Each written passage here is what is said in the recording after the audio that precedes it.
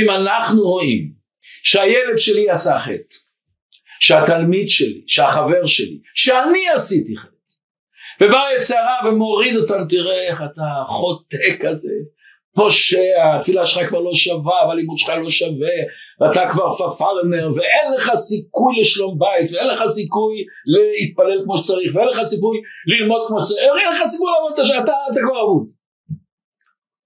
באה התורה, באה החסידות ואומרת לנו, אה, כמה שאתה יותר מצטער, כמה שיותר כואב לך, תדע לך שאתה קשור לקדוש ברוך הוא. תדע לך, זה ירים אותך. זה לא רק ירים אותך, זה עכשיו מוכיח איפה אתה נמצא. כשכואב לך, עם כל החטא, זה שאתה מרגיש קשר לקדוש ברוך הוא, שאתה צדיק ואתה מתפלל ואתה עושה טובה, אוקיי. זה לא עוד מוכיח את העצם שאתה קשור לקדוש ברוך הוא. אתה קשור לקדוש ברוך הוא בגלל שאתה לומד ומתפלל ועושה צדקה ועושה חסד ועושה הרבה טובים ואתה מרגיש קשר לקדוש ברוך הוא. ברגע שאתה עושה דברים ההפך הרצון של הקדוש ברוך הוא ולכאורה אתה מנותק ועם כל זה אתה מרגיש בושה מה זאת אומרת? שעם כל זה אתה מרגיש קשר לקדוש ברוך אנחנו צריכים לתת לעצמנו מחמאה. שכואב לי שאני מתבייש שיש לי צער זה המעלה.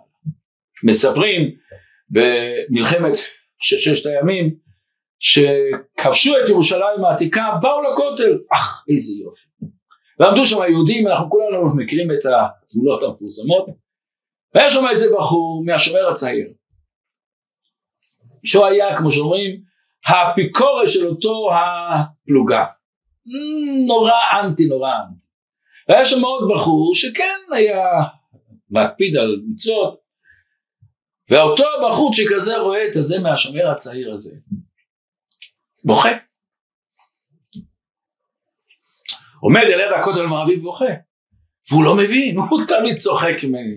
הוא תמיד, מה אתה מתרגש מעיר עתיקה, מה זה עיר האבות, מה תעזור.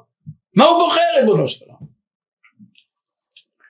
אחרי שהוא קצת נרגע, הוא אומר לו, תגיד לי, למה בכית? ואני אגיד לך, בכיתי על זה שאני לא בוכה. עמדתי מול בית המקדש, מול כותל המערבי, ואני חושב לעצמי, למה אני לא מתרגש? למה אני לא בוכה ריבונו שלנו?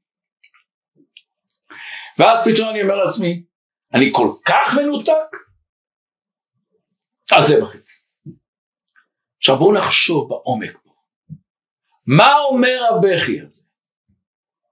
איזה עומק יש פה?